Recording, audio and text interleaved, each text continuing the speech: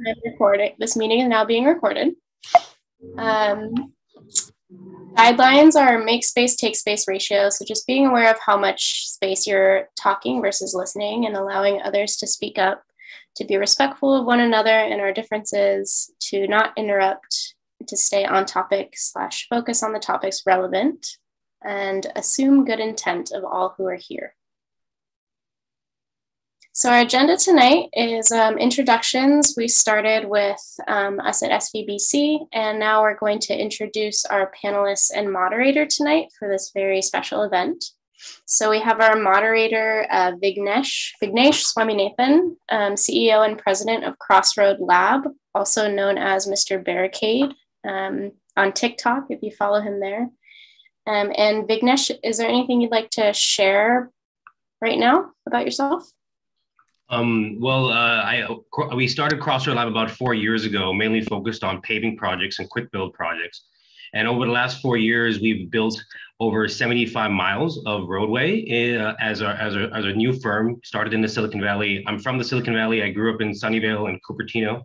Um, and uh, our Mr. Barricade channel has uh, 1.3 million followers with over a billion views, where I talk about active transportation and help enable citizens and, and community members and, and city staff on how they can actually make uh, structural change through active transportation.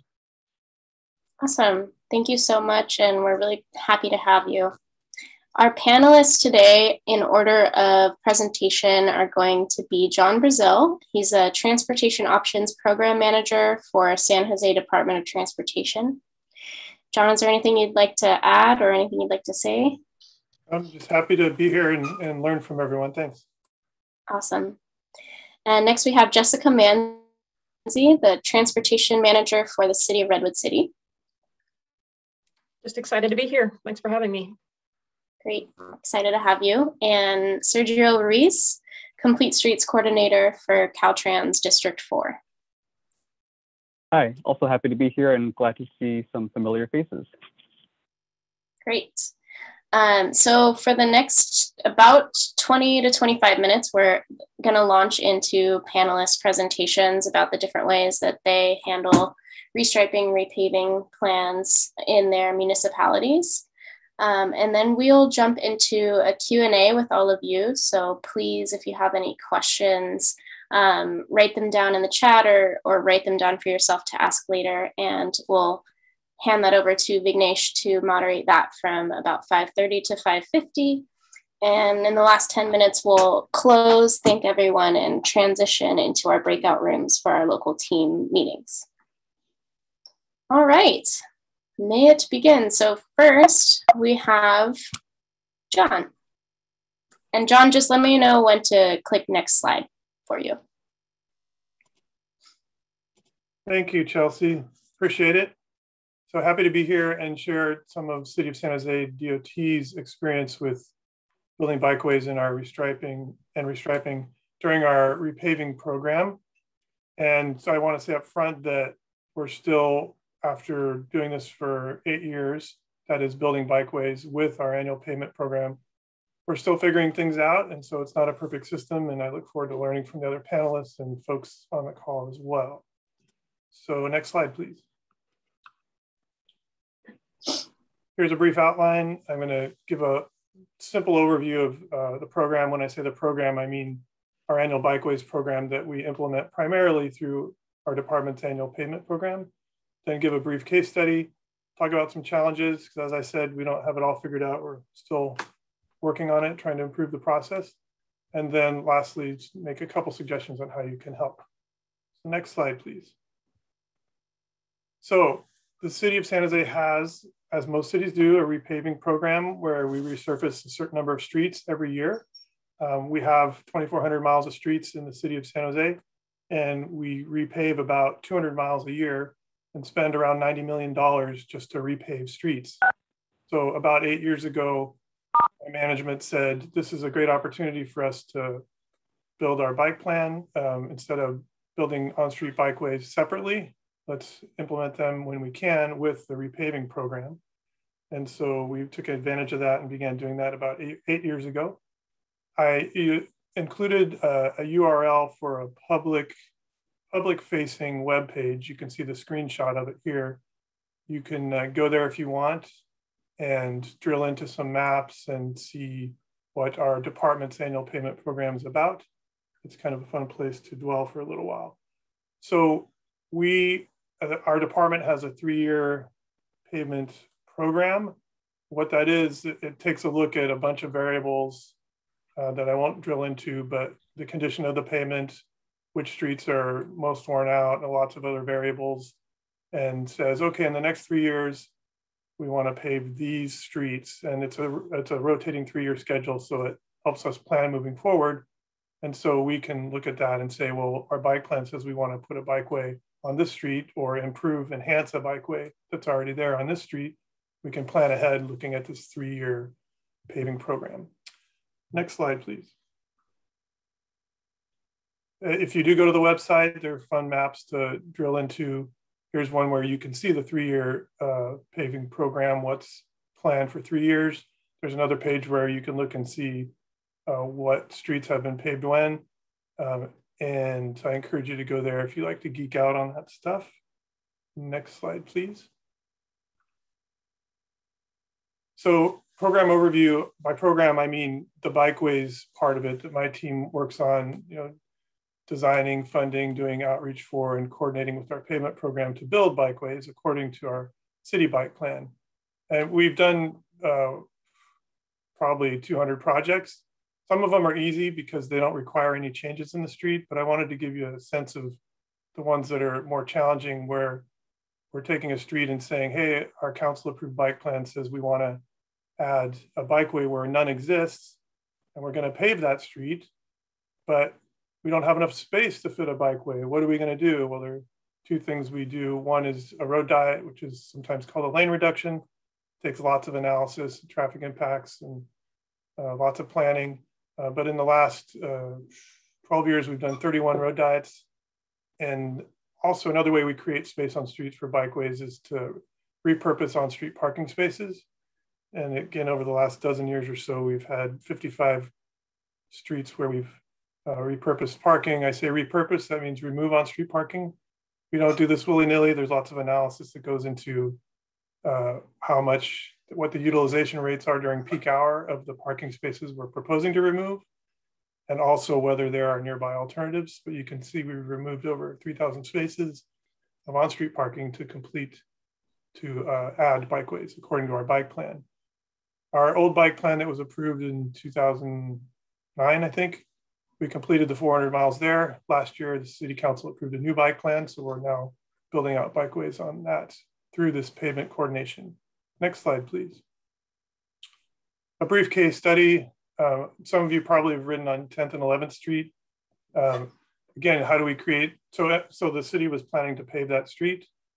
Um, and originally, before 2012, the shot on the left is pre-2012. There were three lanes of traffic with on-street parking on both sides. So in 2012, we did a lane reduction, but our management at that time wasn't supportive of protected bikeways. So we had this buffered bikeway with just paint between the cars and the bikes. That's the middle slide. And then in 2020 and slash 21, it was being repaved again. And we said, let's do something better. This is a unique example of a kind of a hybrid uh, bikeway, which is kind of like a service road on the side, a local access road with physical separation um, between the bikes that share the local access road and the main travel lanes. And so that's a brief case study. Um, there are lots of pros and cons and challenges with that that we could talk over a beer about. Um, but I want to make sure there's time for the other presenters. So next slide, please. Here's a quick screenshot of what that latest version of 10th and 11th Street looks like. And you might have said, well, why don't you do a protected bike lane instead of this local service lane that you have to share with cars going in and out of their driveway? The reason is because there wasn't enough right of way or space in the road to fit a protected bike lane because of the frequent driveways and the required sight lines. So this was a hybrid that actually has worked relatively well and we're learning from it so we can improve upon it in the future. You can see the raised curb separating the main traffic lanes where traffic is usually going 35 to 40 miles per hour. And then in this to the right, it's just only local traffic that would be going to a house on that block. So that means there's very little traffic in the space where the bikes are. Next slide, please. If you're interested in learning more about this project, there's a website about it. Again, there's a long URL there that uh, talks about it a bit. Uh, it's it's 95% done at this point, um, but there are also other projects at that Move San Jose website that you might be interested in looking at. Next slide, please. So um, some of the kind of challenges and lessons learned, there were a, a, lot in this particular instance. There's a bus route on this corridor, and so we had to figure out how to fit a bus stop um, while we're reconfiguring the street. Um, as I mentioned, driveway access was actually not rationally a challenge, but whenever you change streets, uh, some people freak out and think the world's going to come to an end. And so we had to comfort people. I remember one neighbor who said, I have a, a speedboat that I have on a trailer and I pull it in my truck in my driveway and the, this is terrible. I'm never going to be able to bring my trailer and boat uh, in and out of my driveway anymore. And we showed him that, yeah, you can still do it. Don't worry. Change is not always bad. Things like that. And then these are expensive, particularly with the bus stops and the changes to the bus stops. So it's not easy. There's lots of complexity. Again, could talk over coffee or beer at another time. Uh, next slide, please. I'm going quickly so that I want to make sure everybody has a chance to present and to talk and ask questions. So brief summary of some of the challenges, not all. Where do you put your trash bin, your recycling bin, your yard waste bins when you're doing any kind of bikeway? There isn't a really good answer for that, particularly on busy streets that have a lot of car parking turnover or that have no space for car parking. You don't want to block the sidewalks. That's a challenge. Frequent driveways I talked about. Curbside demand is a broad description of anything that wants to use the curb space. Parking might be one example in a downtown environment. There are lots of delivery trucks that are double parking or parking in bikeways, potentially blocking them. TNCs, those are things like Uber and Lyft who are temporarily parking and often blocking a bikeway if it's not a protected one. So managing curbside demand and designing for it is a challenge.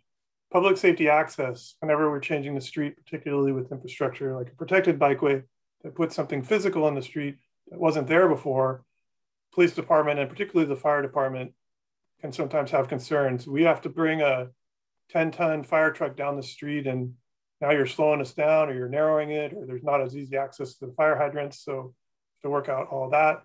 Outreach and equity is another huge conversation for another time, but how do we make sure that we're uh, serving well traditionally underserved communities um, and folks that have been uh, not well represented or don't have a voice? How do we make sure that we're hearing them and giving them things that they want or at least don't oppose? Um, and giving them, empowering them is a big challenge, giving up power to help them with decision making on projects like this. Funding is always a challenge and generally opposition to, ch to change is the challenge.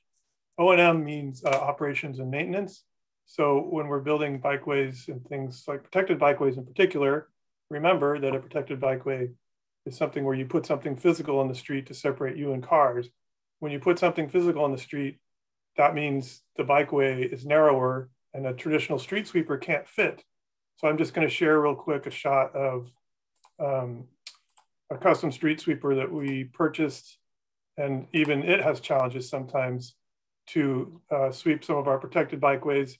This protected bikeway was designed before uh, all the designers got the memo on we need seven feet clear width for the sweeper to fit through. So, you know, how are you going to maintain and sweep your protected bikeways? And this is one solution. Again, another fun conversation for another time is I went out with uh, our sweeping crew to uh, on a ride for one of their weekly sweepings of protected bikeways. I didn't know that the shift started at midnight, but nevertheless, I had fun. So I'll stop sharing that and ask for, let's see, let me see.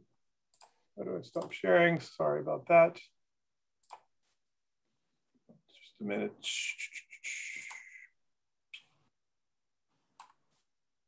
Sorry, I got lost in my screen here a bit.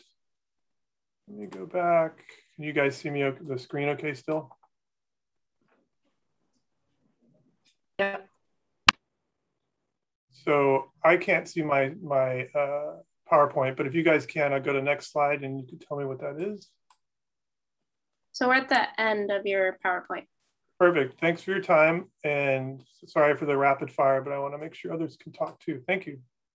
Great. Thank you so much, John. And we'll move right along to Jessica and her presentation. And I just want to check in, can everyone see the, the screen um, starting with Bike Biketivist Forum Redwood City right now? Yep, we got it. Awesome. All right, go ahead, Jessica. All right, thank you. And thanks, John. That's a great introduction to the opportunities and challenges of implementing bike facilities with repaving projects. And um, I'm glad that you touched on all those challenges so I don't have to, to go into so many of them because, uh, you know, we deal with those same issues in Redwood City. Uh, but now I'm going to share the perspective of a smaller city uh, in Redwood City. And just to give you a little um, a sense of how we compare to San Jose, we have roughly 150 miles of roads and San Jose has 1,500, so about a tenth of the size. Uh, as mentioned, I'm Jessica Manzi. I'm the transportation manager, and my team in Redwood City is responsible for managing Redwood City's transportation network, uh, which includes our pavement management program. So next slide. Um, so I want to just talk through the sort of janky um, flow chart here, just to give you a sense of how we do, um, how we manage our streets. Um, so the very first step in the process does start with regular inventories of our streets to establish the pavement condition. And this information is fed into an asset management system that we call Street Saver, where information on the pavement condition, um, cost of different maintenance treatments, uh, as well as our anticipated budget are used to come up with um, our five-year paving plan. But it does that in the absence of you know any sort of understanding of the real world. And so at the staff level we have to go through and sort of refine that five-year paving plan sort of the optimized uh, five-year paving plan based on the roadway conditions and costs and um, ground truth it with what's going on in the real world. So you know we're always coordinating with utility companies who come in doing projects um, our own um, utility programs, putting in new sewers, uh, new storm lines, new water lines. We have to coordinate with if there's development projects that are that are anticipated, um, and then also keeping in mind whether um, there are projects that would require that repurposing of space, like John was talking about, where we need to anticipate, we need to plan for more time for a planning process to happen. Um, when we're trying to, you know, coordinate with, particularly with other um, utilities, it's really important for us to um, to do that in a way that's that's mindful, so that we're not putting on fresh pavement and then they're coming in the next year and tearing it up to put in a new sewer line. Um, or the sort of the converse example is if we know that a, a development project is either definitely happening or could be happening, um, we may want to pull that street segment off of our paving list and let the development pay for it. So we can stretch out our paving dollars a little bit more. Um, so we use that sort of real world ground truthing to help develop what would be like a, a list of specific streets for our next paving project. And when we get into that level of detail, um, we're looking at how those streets compare with our adopted plans to see if any are identified for either new um, facilities or upgraded facilities, uh, as well as talking to our Transportation Advisory Committee for input on um, whether there are locations on those streets that are particularly problematic or that would benefit from modifications. Um, and then we can use that information to uh, adjust the designs so that ultimately we're building better bike lanes. Bumper. So next slide. Bumper. uh, so uh, like John, I'll just share a couple of case studies. Um, and you know, like he outlined, when you're making big changes, there typically comes with a, a big process. Uh, so this is an example of um, a road diet that we did on Farm Hill in Jefferson, where you know we identified that uh, a paving project was coming up, and hey, isn't that a great opportunity to try out uh, a road diet? Um, but that ultimately came with you know a whole series of community meetings a lot of analysis implemented as a pilot that was evaluated going to and from you know city council multiple times. So it's definitely um, an effort that you have to plan for in advance. And you know ultimately this did push out repaving work um, so that we could do this. Um, but ultimately we were able to to implement this change um, which is ultimately has been um, much safer for the community. So next slide, please. Um, this is um, Marine Parkway, which is in Redwood Shores in Redwood City. And it's just an example of, of types of modifications that we actually do at the pretty much at the staff level and where um, we can use input from you know residents and people that work in Redwood City and our transportation advisory committee on you know where you know additional tweaks are needed. But um, something like this, you know, what we're doing is we're looking at existing travel lanes to see if we can narrow them so that uh, we can widen the bike facility, um, converting uh, standard, well, in this case, we didn't do it, but in, in some cases, we'll upgrade crosswalks from standard crosswalk markings to high visibility crosswalk markings. Here we added cross bikes as well as, you can't really see it at the, the far edge of the intersection, but we added bike boxes as well to, to facilitate turns um, off of Marine Parkway. Um, and then, you know, things like adding sharrows or shared roadway markings is something that we can do again at the staff level that doesn't um, require some sort of community process to go through. Uh, next slide, please. And then these are just another couple of uh, images of other modifications we've made on recent projects, as well as my contact information if anybody has questions. Um, so Twin Dolphin, so Alameda uh, is the street on the left. And this is actually a case where we were able to add um, some bike lanes that didn't exist already, um, largely because there was already red curb um, in place and didn't need any parking removal or reduction in the travel lanes to, to add those facilities. Um, and then Twin Dolphin on the right is actually a case where um, we have a class one path that runs along uh, the street um, but particularly commuter cyclists, it's not a very, it's not a convenient route. You're going up and down.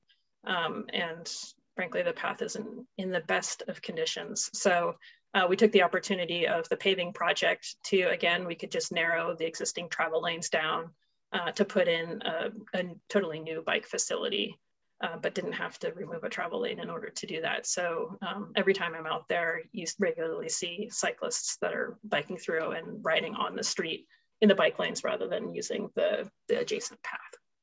So that's uh, repaving projects and bike facilities in Redwood City. Thanks. Awesome. Thank you so much, Jessica. And next, we're going to welcome Sergio Ruiz.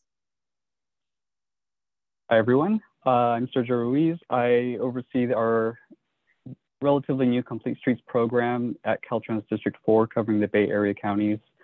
Uh, and so my focus will be on our State Highway Operation and Protection Program, um, otherwise known as the SHOPP, uh, which covers all of our paving projects that we fund and deliver. Next slide. Um, so just a very brief overview of, um, we've had a lot of policy and guidance updates related to uh, what we call complete streets, uh, which is, you know, uh, looking at active transportation and transit as a priority and not just moving vehicles.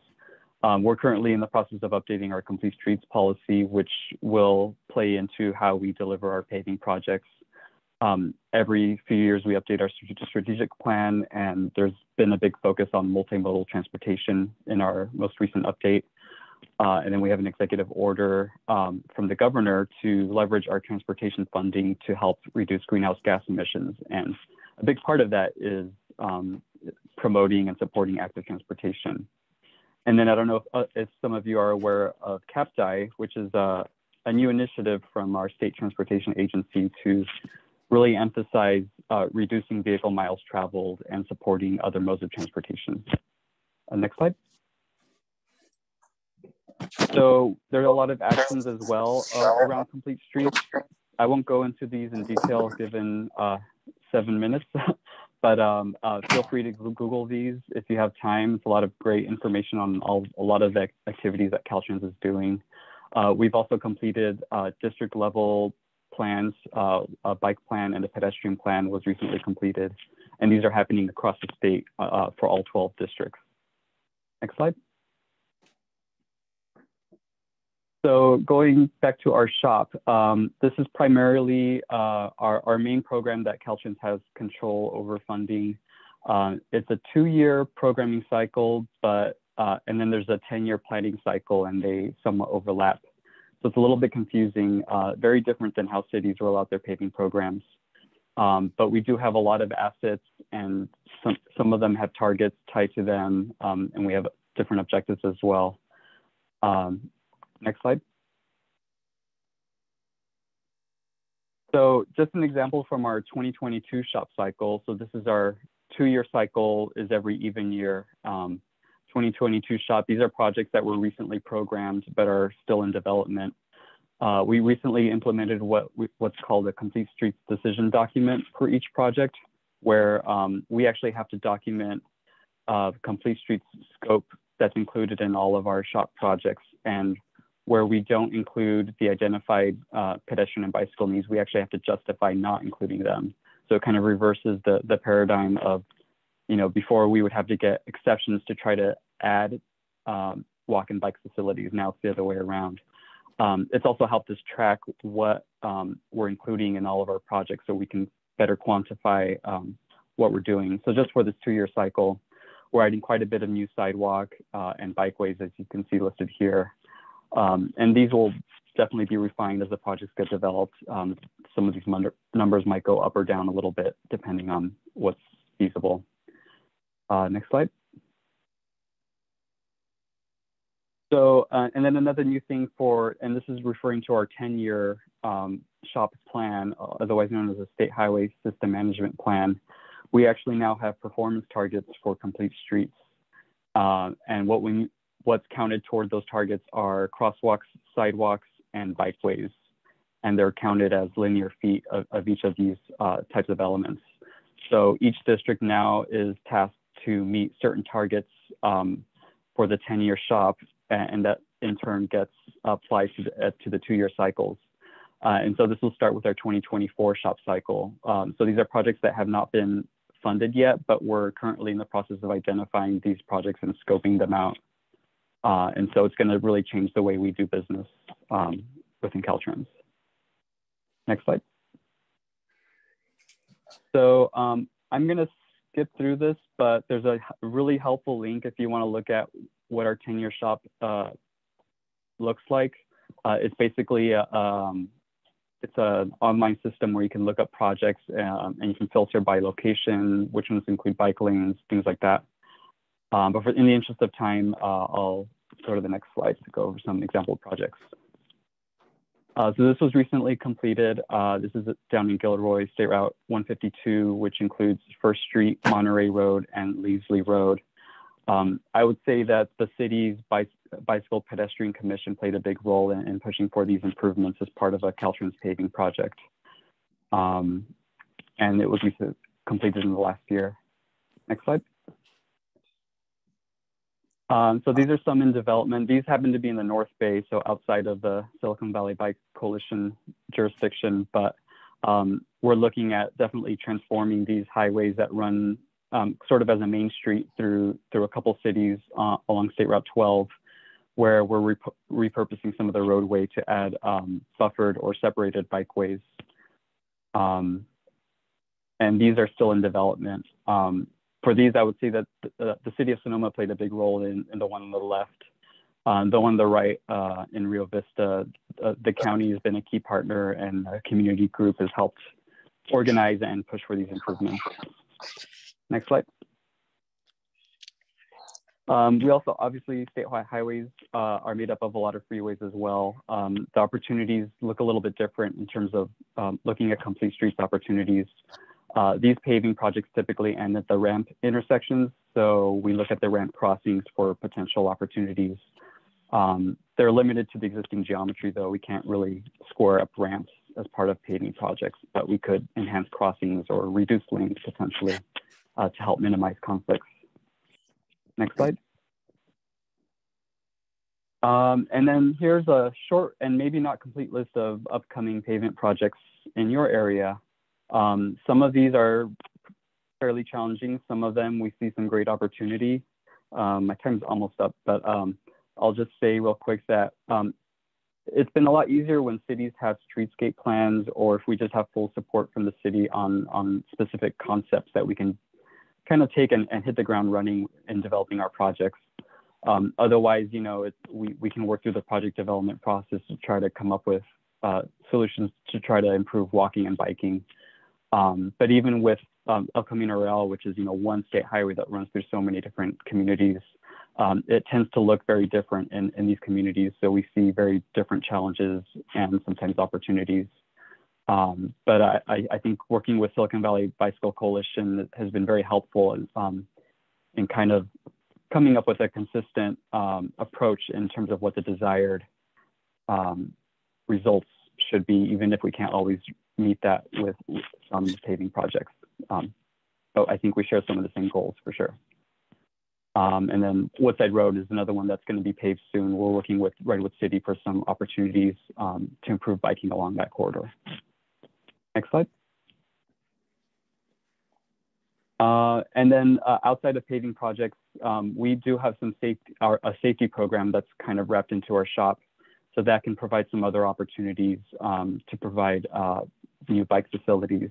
These are two examples, um, kind of a first for Caltrans to initiate projects for separated bikeways that were initiated because these locations saw a higher con a concentration of bicycle related collisions.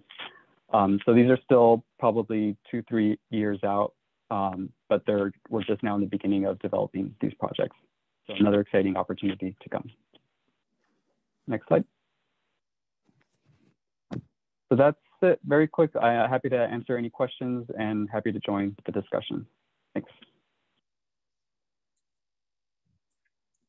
Thank you so much, Sergio. Uh, and thank you all. And now we're going to move into a Q&A. So I'm going to hand it over to Vignesh to moderate.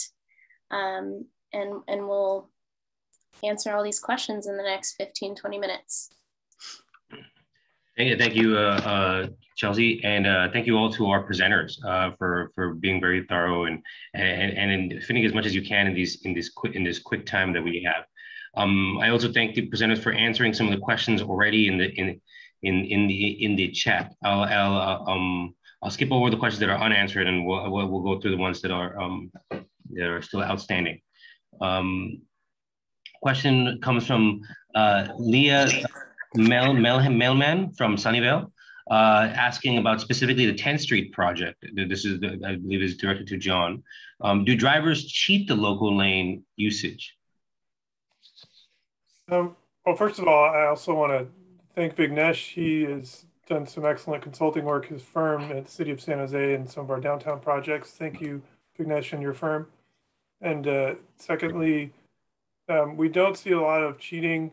Um, we haven't formally gone out and done multi-hour observations, but so many of the folks in my department live in that area, work in that area, and bike it. And uh, because the fact is, it, it's going to be slower. Why would somebody go over into that that side service lane? It's gonna they're going to have to slow down. They're going to have to watch out for driveways.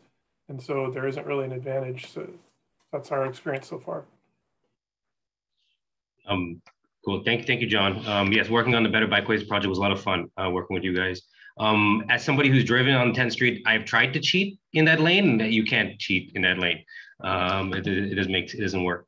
Um, uh, could, could, could we ask homeowners in a very kind way to not use up the entire bike lane with yard waste? Maybe there's, they're not aware that it creates hazards. Have there been any campaign for that, uh, John? Yeah, that's one, I agree that's a challenge. And what we're discovering as we investigate more is that because San Jose is so big, it has multiple different contractors who in different parts of the city pick up yard waste recycling and garbage. And those contracts tend to be seven plus years long. And what's written into some of the contracts where what we call unbundled yard waste is allowed, um, it says you don't have to bundle your yard waste. And that's because it's a contract, we can't amend it. We have to wait for the contract to expire and then try to amend it. So we're working on that uh, with each contract as they come up. Yes, I remember we dealt with that in the in the Better Bikeways project, where there was multiple com companies with different types of units to how they pick up the trash very differently uh, throughout throughout the city. Um, question from Gabby Landa, Landaveri: uh, Could we get a street sweeper attached to a bike? Is it Well, anybody? I'll just chime in my two cents. Uh, the street sweepers serve a specific function that's regulated and they have to include certain things, uh, which I don't know all the details, but things like the ability to spray water and uh, sweep up certain types of debris. And it would be possible on a bike. I think though the bike would need a power source and a significant power source to be able to achieve the purposes and the requirements of street sweeping, but possible. I, do remember in my experience of going to many conferences that I actually was approached by a company who was experimenting in that uh, in that realm of, of a trailer. Um, and I'll also give a side note that on, on, on the platform I use, TikTok, there's a lot of different types of people that, that post on the platform. And there's there is actually a bicycle, cycle track, street sweeper account where they just go and they talk about all the different things that they see in the in the bike lane and then he gets out and he looks at uh, what what's out there and wonders how did they get there and so it's very interesting to see all the different perspectives in short form video um, moving along uh, i see a question from john Cayon. Um, from what to what did they narrow the travel lanes and i believe this is a question for jessica uh, here um, jessica Sure. So um, basically we regularly will reduce travel lanes to, to 10 feet. Um, on Twin Dolphin, we had um, an existing four foot shoulder and a 10 foot travel lane and an 11 foot travel lane. And so we took one foot from the existing 11 foot and added it to the four feet to make a five foot bike lane. And it, just to clarify, it's against curb, it's not against uh, next to parking. Well, thank, thank you, Jessica. Um, we, we, uh, we have another question here from Taylor Pope Olds from Redwood City. What sort of justifications are being made uh, when, when they are, are left out? And I believe this is about the uh, um, uh, uh about the different decisions that have to be made of cross bikes and and and more when when making these tough decisions. Yes, specifically referring to um, the comment that now there have to be justifications leaving out pedestrian and bicycle improvements instead of the other way around.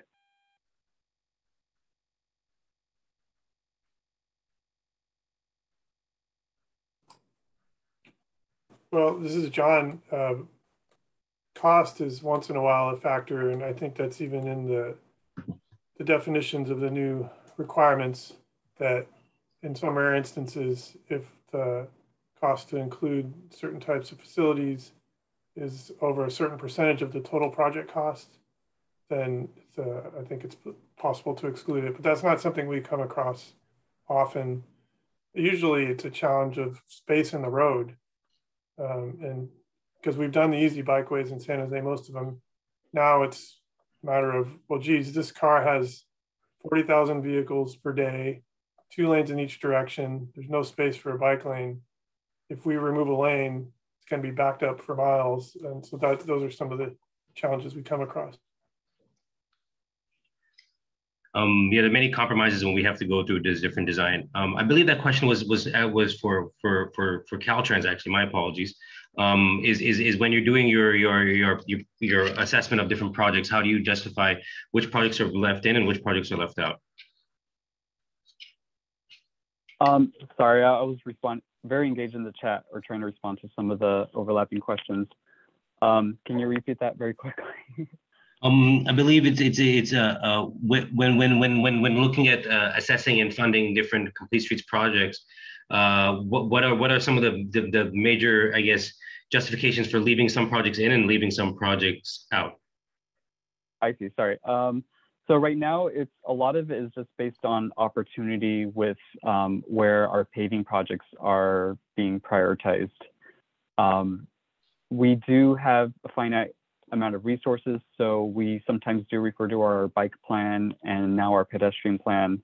If we have to start prioritizing, you know, we can invest this much in complete streets and this paving project versus this much in another paving project and this is done in, at the district level, so over across the entire Bay Area.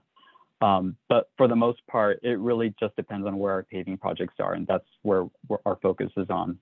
Um, and then through our work with a lot of our uh, key stakeholders and county partners, we generally know which corridors tend to be higher priority. Um, like El Camino is is a huge focus, and so um, if we see any opportunities on El Camino, we'll definitely push for that. Uh, that, that, makes a, that makes a lot of sense uh, when to prioritize paving projects because we spend so much money on paving anyway, and so a lot of times these paint and post and other types of uh, types of uh, different different geometry is is just a drop in the bucket compared to how much we're spending on on paving. Um, right. So it makes a lot of sense. Um, is there any consideration to change the name uh, to uh, so it doesn't include the word highway um, and focuses more on transportation overall? Um, I think that comes from like not focusing on on movement of car vehicles, but just movement of, of people. Yeah, uh, we're pushing for the term state transportation network. Um, however, state highways and the state highway system is uh, encoded in law and guidance and, and many different sources, so it's kind of hard to change the name just like that. Uh, but when we're talking about the highway mainline itself, we'll say state highways. If we're talking about all of the facilities that include walking and biking uh, along Caltrans owned um, jurisdiction. It's the state transportation network. And, and this kind of leads into the next question is uh, El Camino is still designated as a, as a well, or was it designated as a highway uh, in, uh, for many, many years? And are, are there plans for, what are the plans for the bike enhancements on El Camino Real? Um, we've had the Grand Boulevard Initiative many, many years ago. And, and uh, kind of what are some of the next steps that you see uh, when working through all these jurisdictions? Um, so I, I, can start, and maybe I don't know if any of the other reps here might have anything to add, but um, we're kind of still working within the framework of how highway projects typically get funded. Um, that's been around for a while, and we're just now starting to change that. Um, but like even with our paving projects, for example, um, we usually don't have a paving project that extends more than two, three, four miles at the most, and even that's already a pretty large, significant project. Um, so we don't really have any funding source, at least that Caltrans has control over, where it could we can cover the entire corridor um, across two counties. Mm-hmm. Um, that said, you know, there might be opportunities with some SB1 programs um, in the future if either the region or a county wants to to lead something that covers multiple jurisdictions. Um, but yeah, it, it, does remain a challenge. Yeah, the El Camino is a is a tough cookie uh, to tackle just because there's so many different land uses and so many different uh, agencies and and uh, um, so yeah, I, I feel it. Um, uh, this question from Ari Feinsmith. Um, which projects do you add bike lanes? Uh, which pro projects to add bike lanes require public outreach and analysis? Then this can kind of go answer be answered by anybody uh, here. Um, so it's typic typically if you're having to remove a travel lane or a parking lane, that's where we need to go through some community process to make sure everybody's on the so the same page. Analyze what the potential impacts would be and the benefits and uh, come to kumbaya mm-hmm. consensus. It can be very yes, challenging. It's the same in San Jose as Jessica described for Redwood City. Yeah, it, similar it, for Caltrans. Sorry, go ahead. No, no, go ahead. Yeah. Um, similarly, you know, we pre- historically relied on, you know, what CEQA requirements or, you know, going through the environmental process, what what type of environmental document requires formal public outreach However, given that we're trying to include more complete streets and paving projects, we are trying to at least include some informal engagement and outreach, um, even even if we're not foreseeing any environmental impacts. Um, but that's been a slow, challenging process in, on its own. Yeah, you hit it right on the nail on the head. Is in terms of what the environmental uh, process are, and, and in my experience, uh, whenever we have to take away a lane, or if we add more impervious area, then it, it triggers something in CEQA for us to do, and the CEQA process requires outreach. And so, um, uh, and, and so whenever we do a lot of bike lane projects or quick build projects, we try to avoid adding more impervious areas that can be swales or widening or or, or uh, uh, more like that, and and and do what we can within the curb to curb width. Sometimes we've gotten away by cutting the gutter in half, and we did that in Cupertino, which is kind of a kind of a workaround. Um, but there, there's there's there's ways to uh, not trigger CEQA. Um, what does support from uh, from cities mean? How can SVBC local teams help with this? In Redwood City, uh, they're interested in El Camino Real and 84.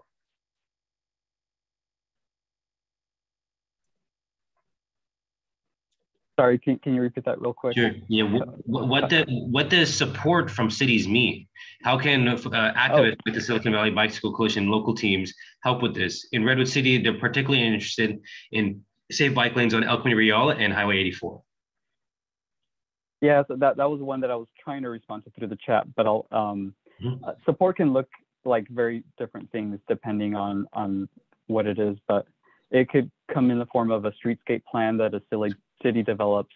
Um, sometimes Caltrans actually funds planning studies to develop these uh, streetscape concepts that call for specific improvements. Um, or it could happen at the city council level if, if a council member or representative calls for certain improvements and puts the pressure.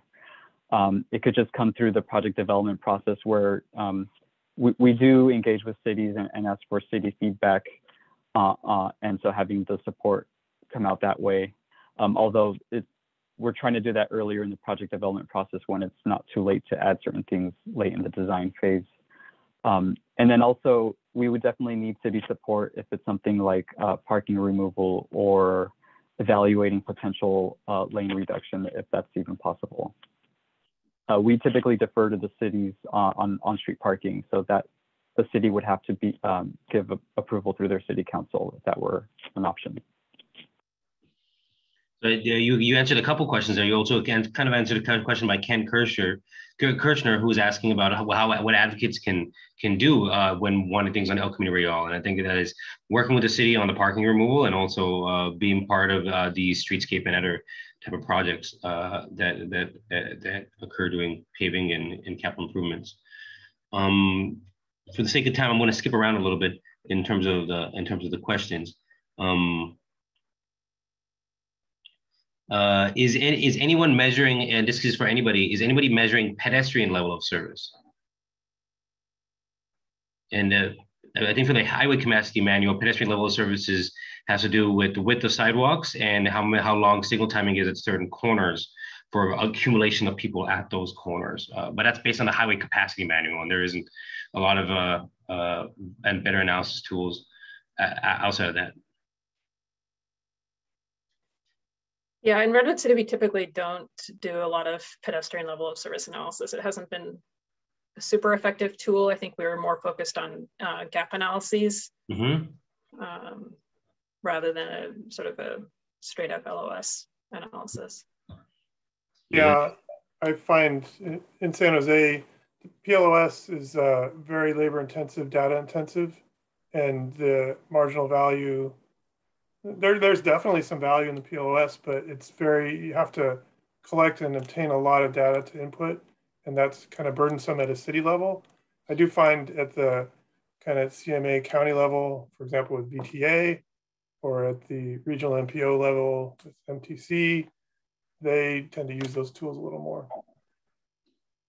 Then that makes a lot of sense, especially in an area like downtown where you may want to do pedestrian level service. Probably just makes sense to get rid of the push button and just always have the, the walk sign on, um, like how San Jose has done in their downtown. Um, uh, let's see. Uh, um, removing removing of a travel lane and removing of street parking are typically unpopular. Um, and uh, I guess usually the majority of community members oppose it. How does essentially, essentially uh, uh, how does the city essentially stand up to that opposition and make change? Uh, which is a which is a tough question that a lot of cities uh, we will we will struggle with. Um, so, is there any key strategies that that different cities have uh, that, that San Jose or, or Redwood City have used to kind of help gel that conversation with the community?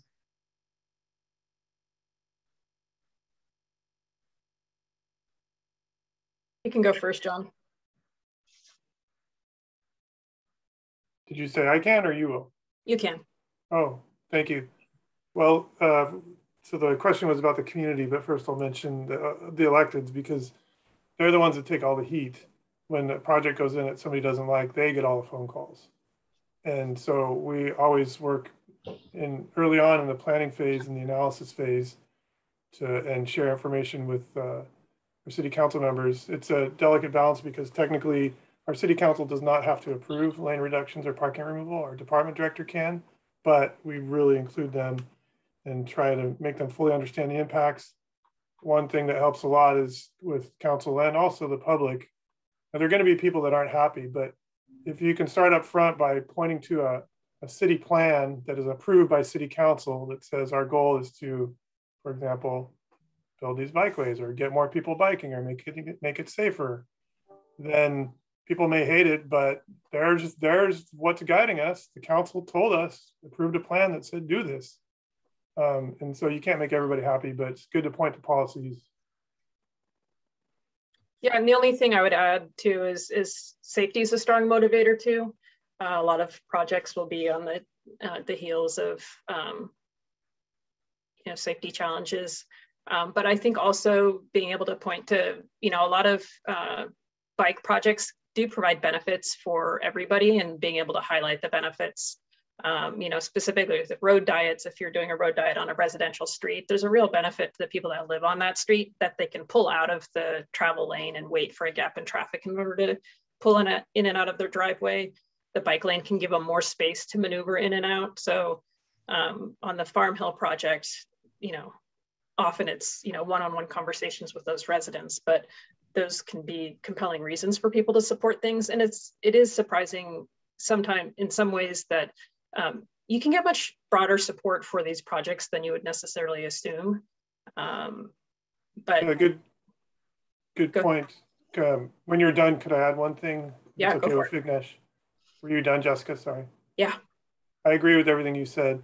Also, I'll point out that you know we don't outreach is not a check the box thing. We're more and more trying to do outreach early enough so we can actually hear the co concerns of the public and then go revise the plans to try and address the concerns of the public. And so some projects will have two, three, four meetings and even two, three, I don't know if we've ever done four iterations of plan revisions just in response to the public input, for example, to minimize parking impacts. While they still may, may not be 100% happy, they're a lot less unhappy when you've actually listened to them, responded, and tried to mitigate the impacts and oh. just tagging on one last thought is you know in terms of what you know all of you who are listening can do to help. I mean, starting participating in these planning processes from the very beginning is super critical because, you know, if we're at the point of taking a plan to the city council to approve, you know, to put out to construction, it's pretty late in the process to expect significant changes to the design. We can always, you know, there's tweaks that can be made after that fact, but really you want to be part of that planning process because, you know, we're making decisions about design early on and then tweaking and refining those those design design decisions. So um, it's hard to go back to the fundamental design of a facility um, late in the game. Yes, uh, and, and um, uh, uh, and this, this is the last this is the last question. Uh, uh, that, that was the last question because of our, our, our sake of time. But I will also add that uh, what I what I've what I've uh, what I've had a lot of experience with is having very different conversations with different types of people about the project um, where where the, we may not want to talk about it as a lane reduction, parking removal, and bike project. We may want to talk about it like Jessica mentioned as a as a as a road diet that's actually going to be helping people turn, or maybe talking to fire department about what they can run over, or talking to the the the the, the, um, the um, landlord of a multi-family property about how they're going to deal with their dumpster and how that's going to be better for them, or crossing safety. And so having very different projects from a complete streets perspective actually can help uh, gel well with a lot of these communities um, rather than uh, using some of the terminology that may trigger uh, uh, uh things in, in, the in the community. Um, uh, because at, at the end of the day, there's so many different types of people that use the street, and they all have their own different connections to it. And and and we can get the benefits of a lot of these things just by by having very different conversations with different types of, of users of the roadway. Um, but with with that, uh, th thank you all. Uh, and thank you all for uh, thank you thank you all to our uh, our panelists here uh, for the thorough experience and sharing that with, with all of us. And thank you all for all the very very very good and detailed questions.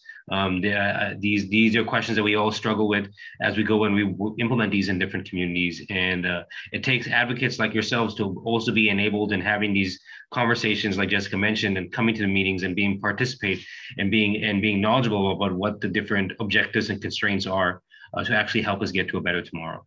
So thank you all. Yeah, thank you to Vignesh for moderating and thank you panelists again for being here and so many great questions tonight. It almost seems like we should do a part two. um, and we're gonna just transition now into some closing announcements from this part and then move into our local team meetings for the six to seven o'clock hour. Um, so here are some upcoming events that we have uh, this month and next. So we have some upcoming team rides, uh, San Mateo Bikes Giving Ride and Food Drive, the San Jose Team Fall Bike Ride, and the Palo Alto Group Ride to the Highway 101 pedestrian bridge, bicycle bridge opening. Um, so those are all on November 20th, and you can sign up here on these Eventbrite pages. On December 4th, we're going to have a social ride at William Street Park in San Jose as part of our programs team. Uh, that ride is going to happen from 11 to 1 p.m. and you can register here on this Eventbrite. Hopefully another member of staff will be dropping these links in the chat. Um, as we mentioned in the chat, we're having an open house also on December 4th. So that ride actually ends at our open house, uh, which starts at 1. And we're going to be showing our new office to our community. Um, it's going to be a fluid event from 1 to 4 p.m where you can drop by anytime and come check out our new space, connect with our staff, um, and offer your own visions and, and ideas for SVBC moving forward. So you can register here on Eventbrite. Um, there'll be food and beverages as well, and uh, prizes, I believe. Um, we have our first Saturday Eastside Connect Farm Box by Bike delivery um, program, and the next First Saturday is December 4th at the farm. So if you're interested, you can sign up to deliver some farm boxes by bike or just ride along um, and watch another member of our community do that. Um, and you can sign up. Hopefully, someone would drop that in the Eventbrite too, or in the chat. Sorry. And our next Biketivists Forum will be on December 8th. Um, so it's going to be actually the second uh, Wednesday of December rather than the 3rd, just due to holidays. Um, so we're shifting that to be a week earlier on the 8th from 5 to 7. And the topic will be National Transit Justice. So you can register here. And uh, thank you again for being here.